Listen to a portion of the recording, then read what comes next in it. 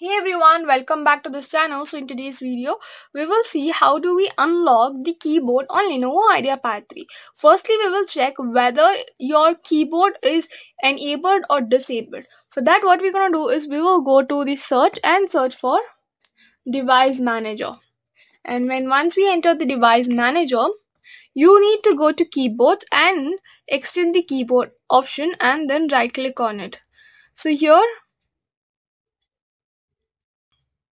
so if your laptop has inbuilt feature like in enabling and disabling you can find an enable option here and disable. So if it is disabled you need to click on enable. So as my laptop doesn't have this inbuilt feature i couldn't find. But here you can easily find enable and disable.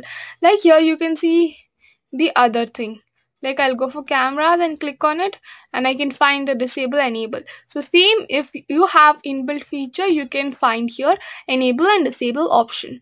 So then after enabling uh, enabling it we will try it with keys. That is go to keyboard and you can find this Fn key which is in the bottom left corner. You need to press this Fn key and any other key. I basically recommend you for the scroll key or the numlock key.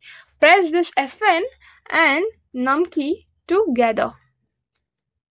So this would reset your keyboard very easily. So this is how you can unlock your keyboard. That's all for the video. Thank you for watching. If you think I have been some do like, share, comment and don't forget to subscribe to this channel.